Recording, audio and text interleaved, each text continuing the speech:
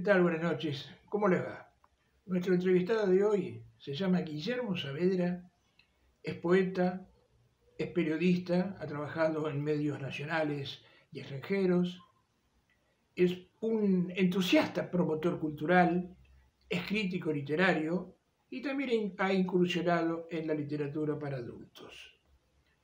Estos dos minutos veinte que voy a proponerles ahora que veamos juntos se debe a la gente de la Biblioteca Nacional que hizo a propósito de un texto de Guillermo sobre la pandemia un documento muy interesante.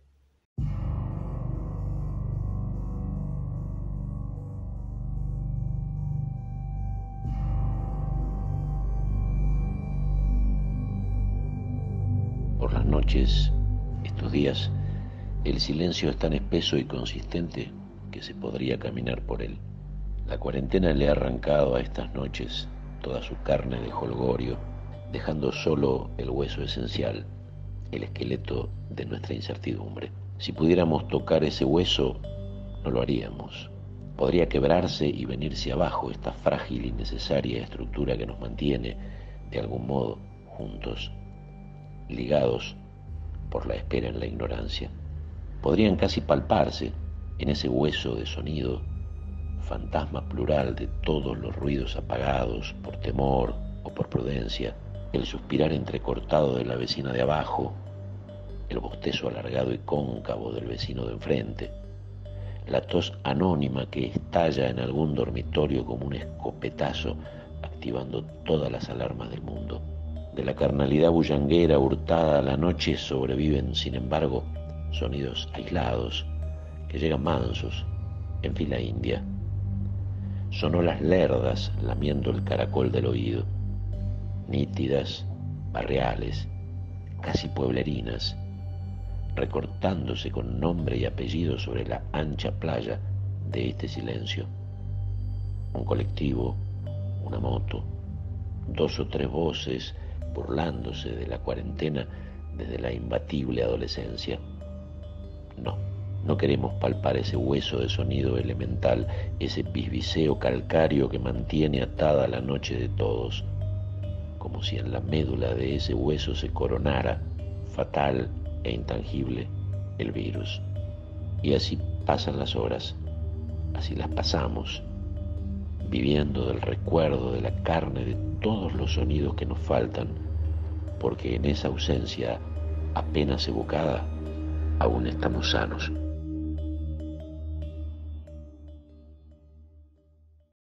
Y en estas noches de pandemia, noches de vampiros urbanos, vamos a hablar con alguien que es, como digo yo, una especie de renacentista en este siglo XXI.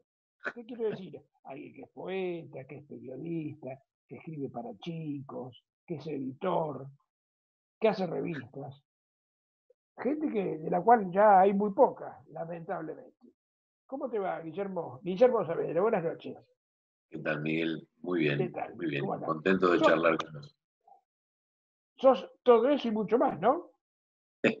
sí, algunas otras cosas que mejor no mencionar. y algunas otras cosas. Y eh, hay una palabra que algunos se ofenden si uno la pronuncia, otros la aceptan con gusto. esa palabra es intelectual. ¿Cabe en estas, en estas épocas la palabra intelectual? Si cabe, ¿lo sos? Eh, es una buena pregunta, son dos buenas preguntas. Yo creo que sí, que cabe. Eh, lo que ocurre es que no tiene la misma dimensión que tenía en los años 60 o en los años 70, porque lo que ha habido es un, avance, digamos así, de, un pensamiento cada vez más tecnocrático, cada vez más pragmático, que es, digamos, el correlato de la cultura neoliberal, y, el príncipe ha dejado de escuchar al, que sabe, digamos. Entonces esa voz del intelectual que antes eh, aparecía en el ágora, digamos así, en el foro, eh, pronunciando su opinión sobre una coyuntura, hoy tiene una repercusión mucho menor. Ser intelectual no significa lo mismo que era en época de Sartre, que era, digamos, ser intelectual por antonomasia. Y en el caso mío, yo diría que soy un intelectual malgremois, digamos, ¿no? O sea, a pesar de mí mismo, porque tengo una formación de la que no puedo renunciar, a la que no puedo renunciar. Eh, ¿Hoy crees que ese lugar lo ocupan los economistas, eh, bueno, los sanitaristas a estas horas, ¿no? Cualquiera menos aquel que se dedica a las tareas intelectuales propiamente. Sí, porque pareciera que el pensamiento eh, que no está atado inmediata, de manera evidente e inmediata a, un saber práctico, a un saber, eh, a lo que hoy se llama, también con una palabra no casualmente inglesa, un know-how, un saber cómo, eh, parece que no tiene valor. de modo que sí, efectivamente, esta es una coyuntura en que no tenemos otra cosa que hacer que escuchar antes que a nadie a los sanitaristas, ¿no? Porque la cuestión, puntualmente en este caso se entiende. Pero bueno, más allá de eso, entonces, Guillermo, ¿cuál es el papel que le toca hoy? ¿A dónde quedó reducido el intelectual? No, el papel de siempre, sabiendo que, eh, por un lado, eh, también eh, hemos perdido la capacidad de encontrar discursos o relatos, como se le llama, que sean totalizadores, que puedan dar cuenta a través de una cosmovisión coherente generalizadora de una realidad que es cada vez más compleja y que cada vez tiene más ramificaciones. Entonces el intelectual debe hablar, debe, debe decir lo suyo, sabiendo que es una voz entre muchas otras voces que dicen su otra parte de la verdad. Por una cuestión generacional, nosotros venimos, vos lo nombraste recién, de, de Sartre, de Camus, de todos los intelectuales que durante los años 60, 70 estaban en el centro de la escena. Ahora, ¿te parece a vos que hoy hay intelectuales de ese mismo tenor? Eh, creo que sí, pero insisto, hay que ligarlo a esta cuestión de que ya, así como tampoco hay un, científico o, un, o, alguien que sepa de, de, temas vinculados, por ejemplo, a la biología o a la física, que pueda arrogarse un conocimiento de una totalidad, creo que tampoco hay intelectuales que puedan arrogarse eh, el, orgullo o el derecho de decir que, pueden dar una explicación unívoca de toda la realidad. Entonces creo que los intelectuales que hay hoy eh, tienen peso, primero porque no son escuchados por el poder real, eh, y aparte porque sus verdades han quedado como fragmentadas o astilladas, pero sí, hay intelectuales como Agamben, como Zizek, como eh, el, intelectual coreano cuyo nombre nunca podré repetir. Eh, y en la Argentina tenemos a gente, no sé, como Horacio González, o Pizarro, distinto signo, obviamente. Eh, entre otros, tenemos a Ricardo Forst, tenemos a Jorge Alemán. Tuvimos hasta hace muy poco alguien como Ernesto Laclau, digamos, alguien que le ha dado un, marco teórico a todo el proceso que ha sido simplificado bajo la etiqueta de populismo, sobre todo en América Latina, populismo progresista, también un populismo de derecha que estaría encarnado en alguien como Trump. Guillermo, vamos a hablar puntualmente de, Saavedra.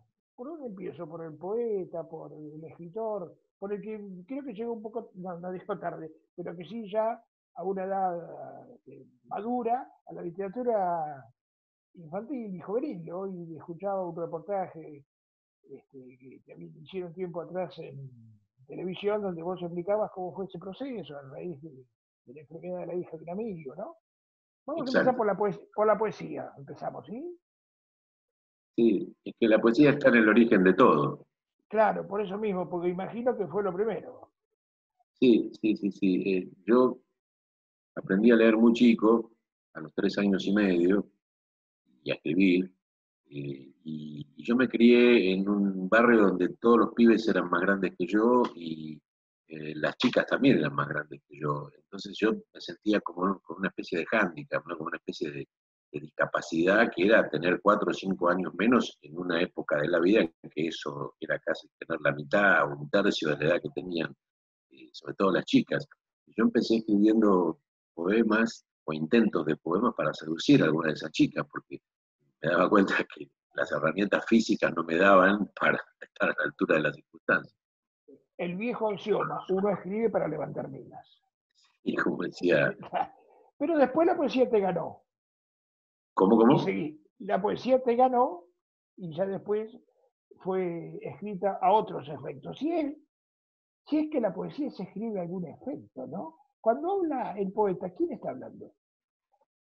Ese es un tema importante y difícil de responder. Yo escribí un ensayo sobre eso a pedido de, de los editores de, ediciones del DOC.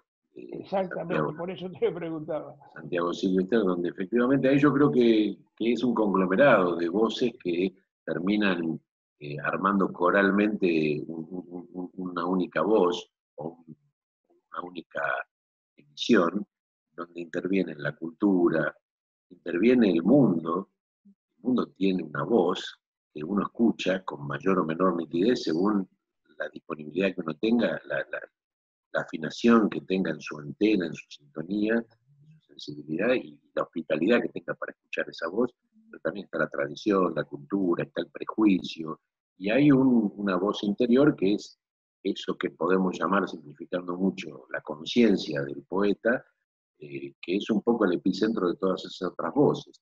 Yo creo que el buen poema ocurre cuando uno deja espacio a todas esas voces. Un poco haciendo una comparación con lo que decíamos antes de los intelectuales, eh, se puede llegar a, encontrar algo de la experiencia que tiene que estar registrada en el poema cuando uno deja hablar a todas esas voces.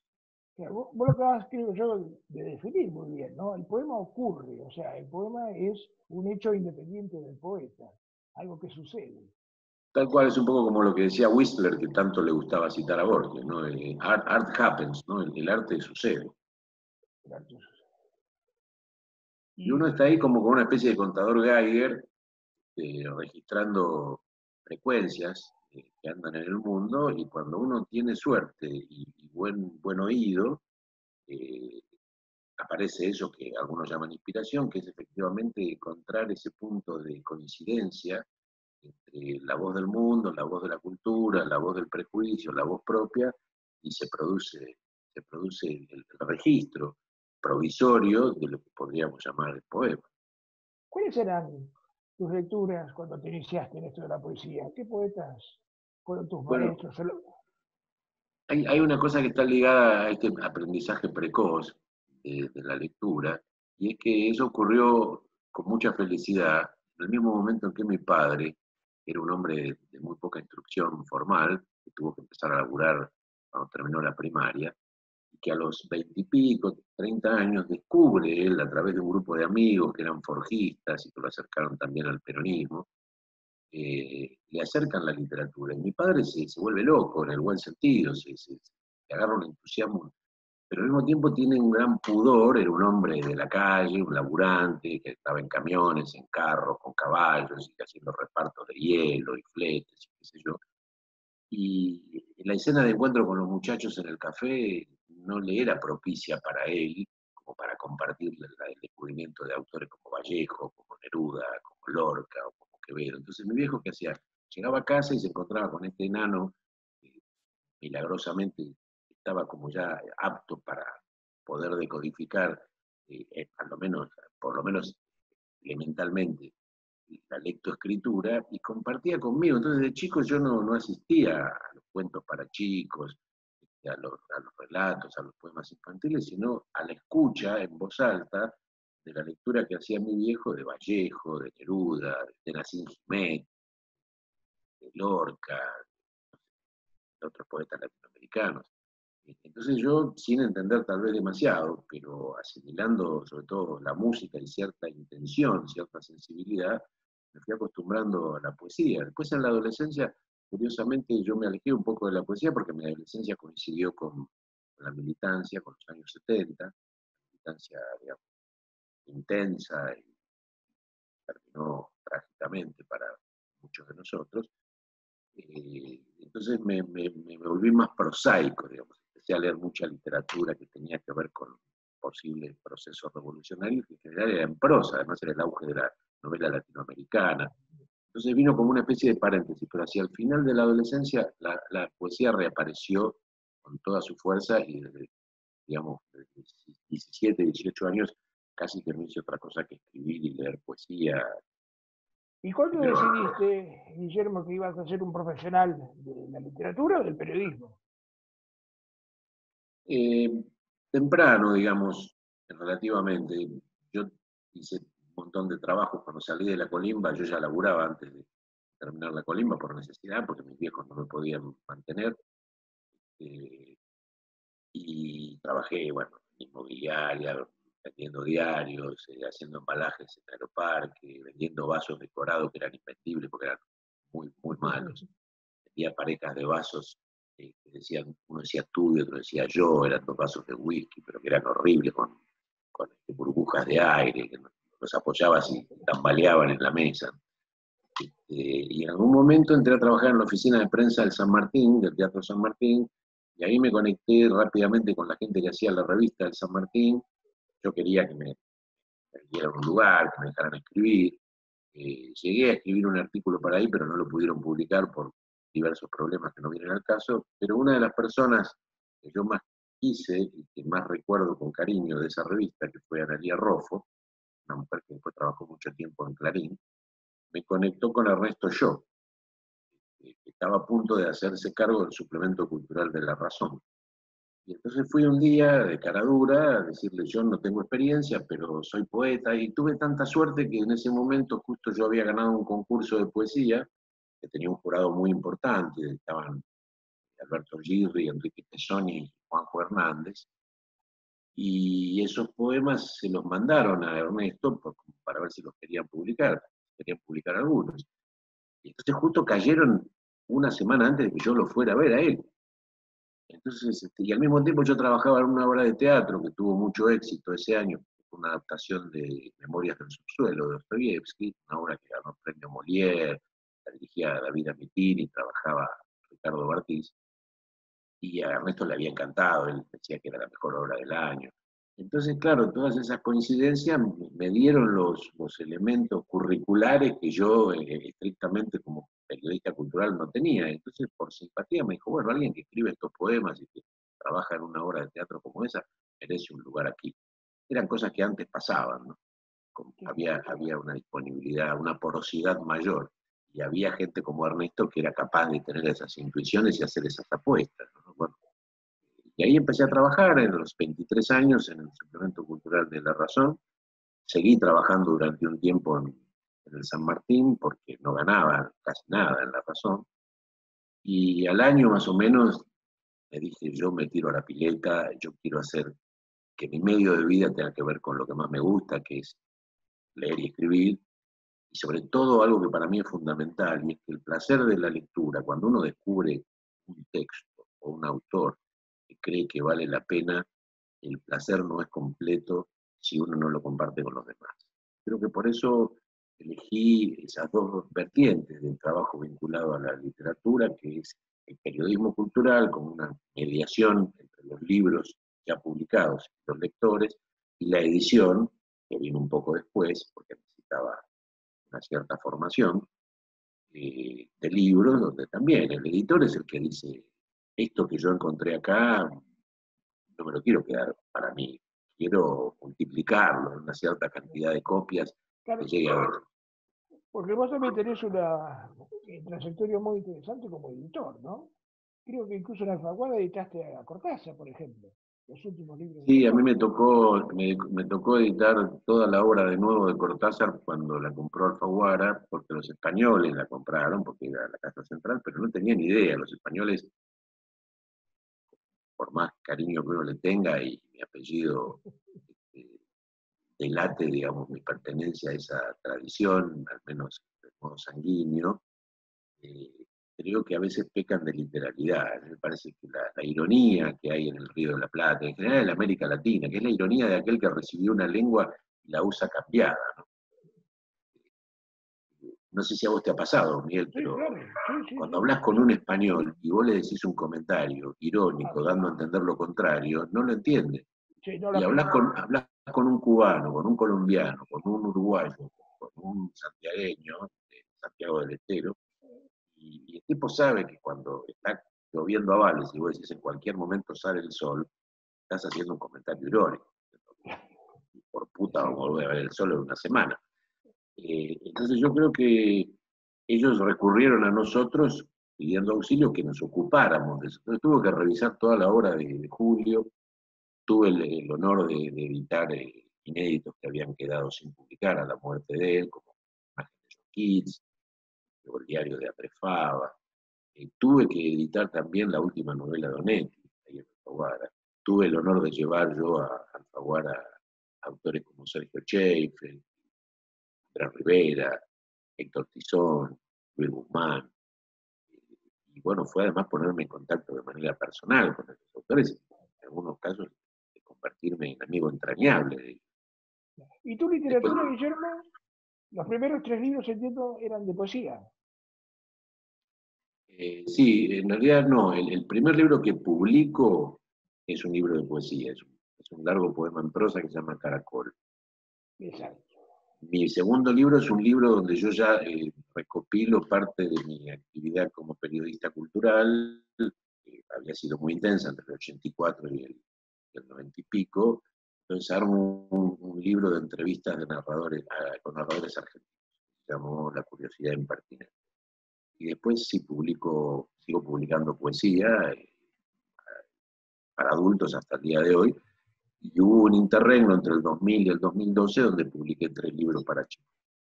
Ahora, Caracol es un, diría yo, un trabajo conceptual, ¿no es cierto? Porque son un centenar de, poemas breves, pero eh, da la sensación que fueron este, pensados en, conjunto, digamos, que no es la acumulación de poemas. No, no, es que no, no, no, son fragmentos, es un, es un solo poema. Por eso, eso, o sea, al, a contrapelo de lo que hace habitualmente un poeta, que es juntar material y de pronto...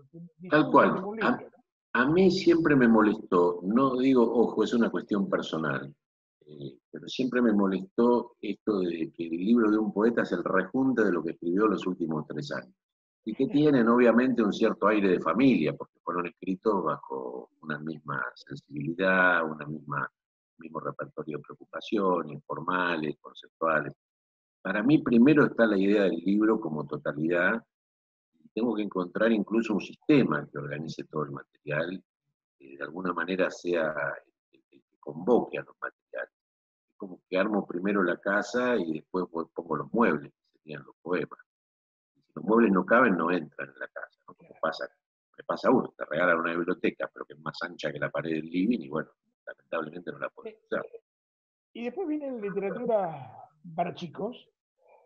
Yo, si es por mi experiencia personal, también arranqué tarde de casualidad escribiendo para chicos y me llevado unas sorpresas encantadoras. Es maravilloso. Te pasará vos también, por ahí visitas colegios. Sí, es increíble. los chicos no los hace ningún adulto. Las observaciones y el nivel de profundidad que tienen de lectura. Yo siempre cuento que, eh, por ejemplo, alguna vez me pasó eh, en un colegio en, en Luján, que un enano me mire y me dice, ¿le puedo hacer una pregunta? usted en reiteradas oportunidades alude al número 24.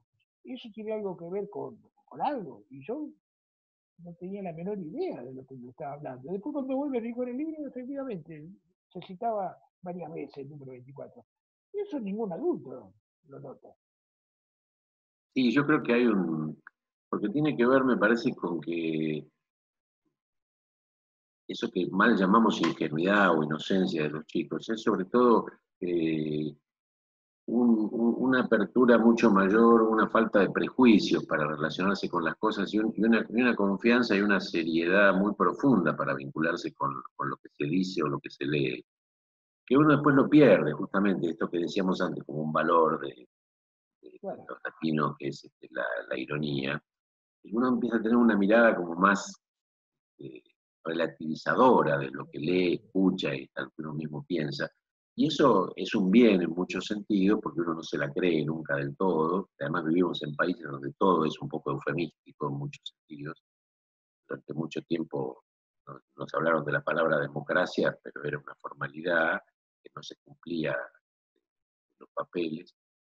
Eh, y creo que el chico recupera, recupera, tiene todavía esa, esa relación mucho más honesta, más unívoca con, con lo que está puesto ahí, ¿no? Y entonces se cree y, lo sigue hasta últimas consecuencias. Y si uno no es coherente, te lo hacen notar.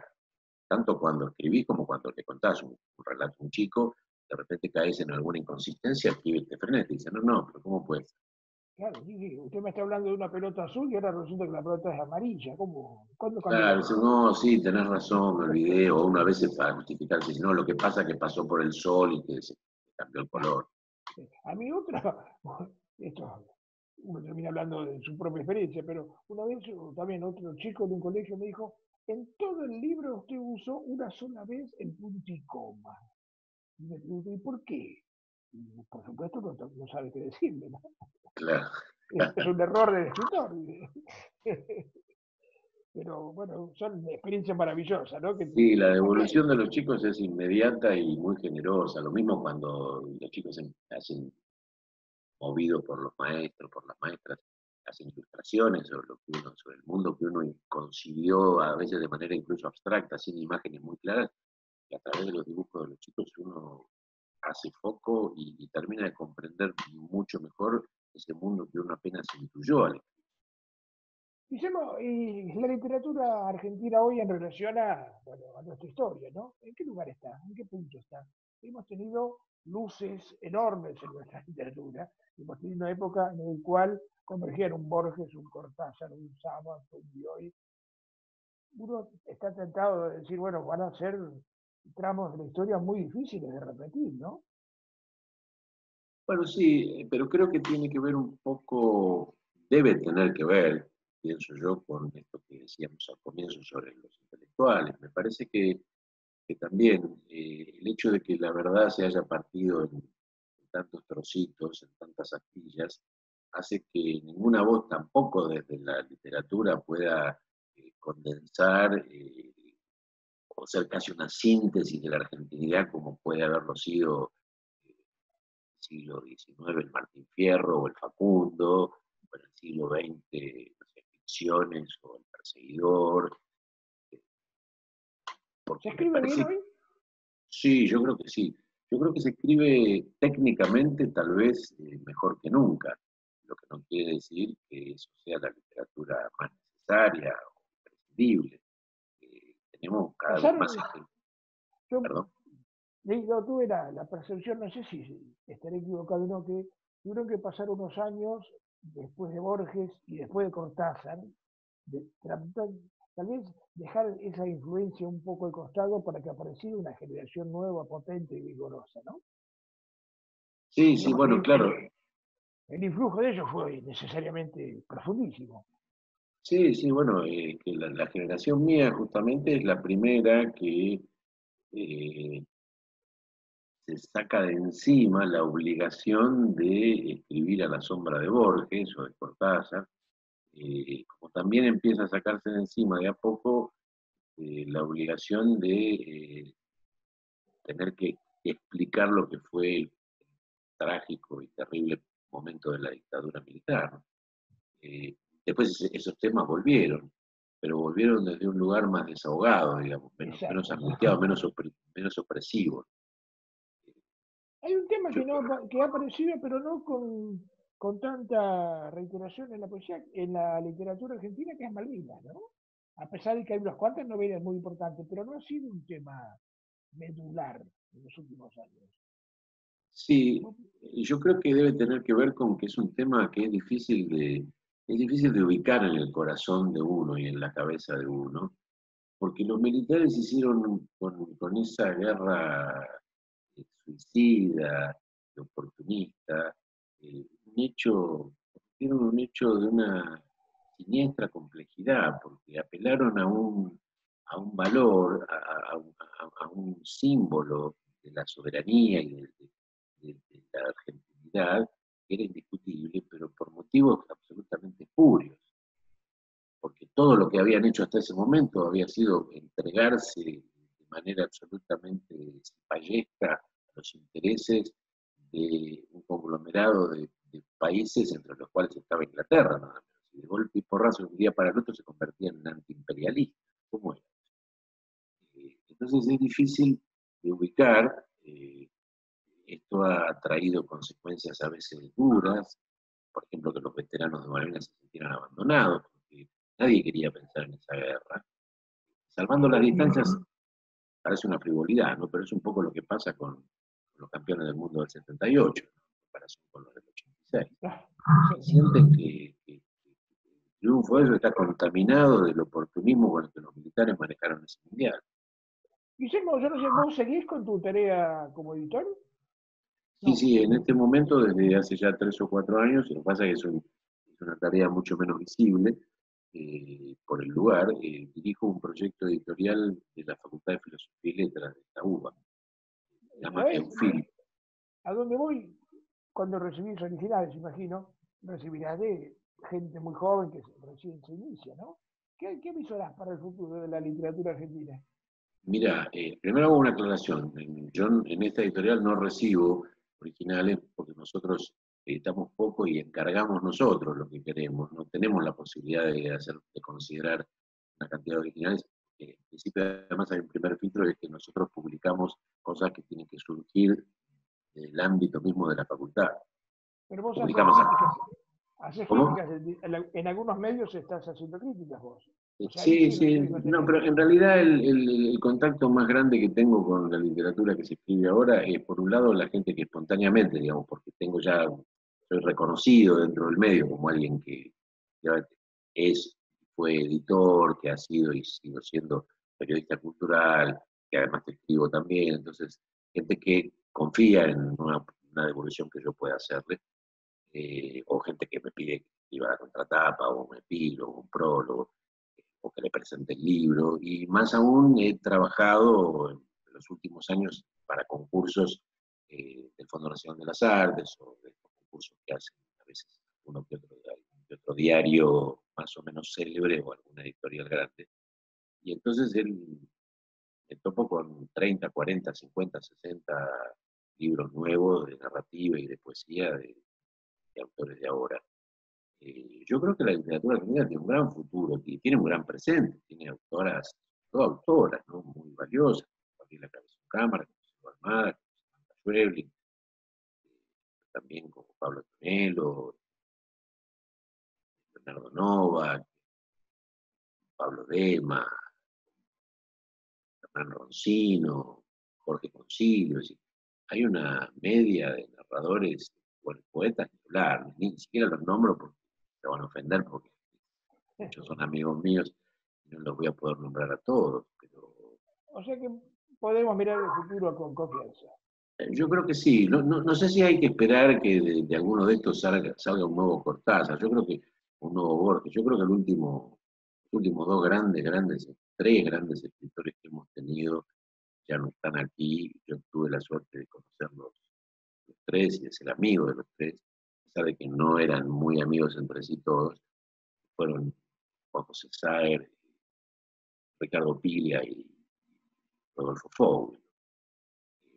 Creo que, esos autores son tal vez los que mejor aprovecharon la herencia que dejó Borges, digamos. Hicieron otra cosa, un valor propio, inventaron una provincia imaginaria propia, cuando uno la ve, uno siente que está entrando en un territorio que es el territorio de sus escritores. Y eso es difícil de lograr. Guillermo, comenzamos esta charla mostrando el video a propósito de un texto tuyo y el momento que estamos viviendo grabado, entiendo, por la gente de la Biblioteca Nacional.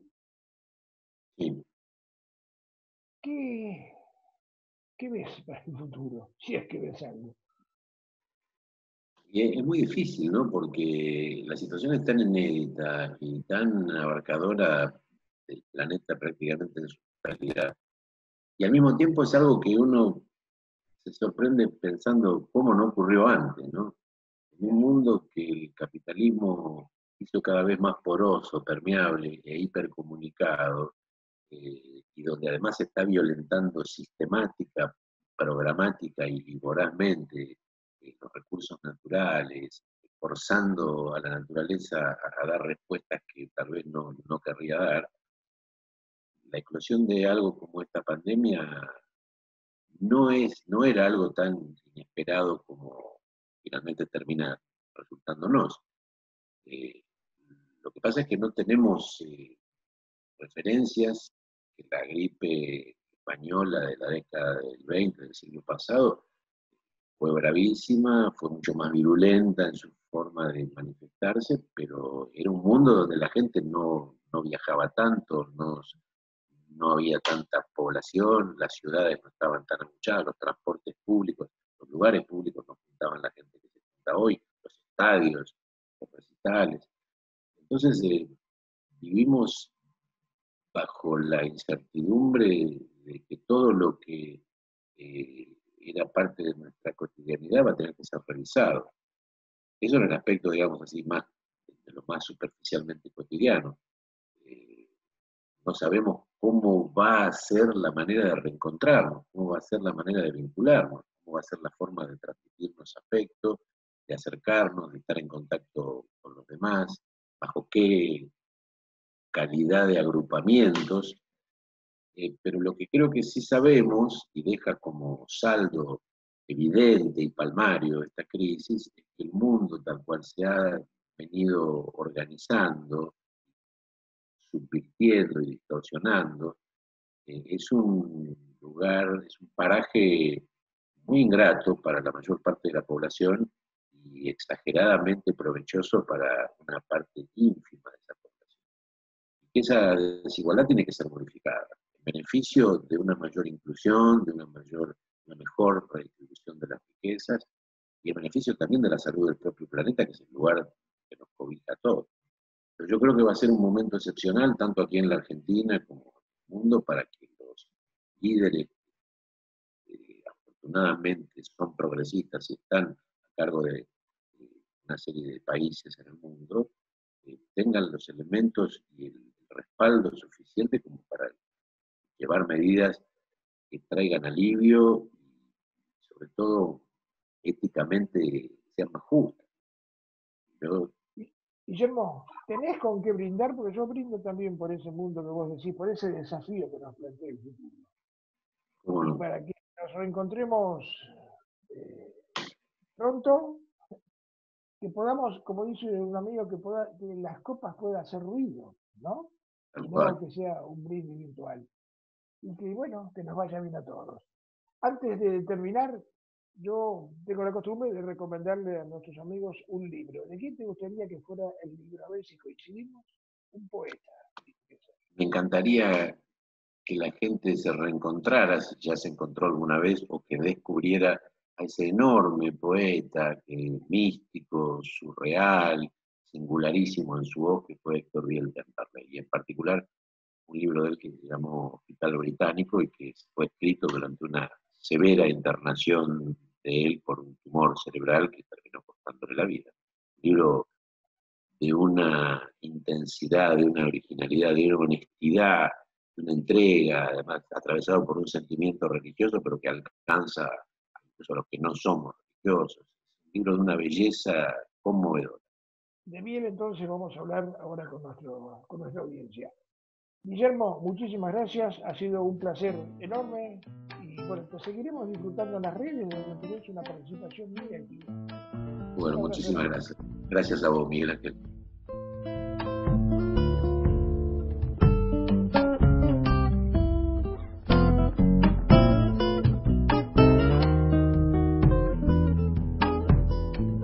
Y creo que Guillermo nos acaba de definir perfectamente personalidad de Bill Temple. De Bill Temple y de un libro en particular, este libro del que hemos hablado. El show terminal, nos dice Tamara Kamansey, en el prólogo a la obra completa de Bill Temple, que nació en 1933 y falleció en 1987 en Buenos Aires.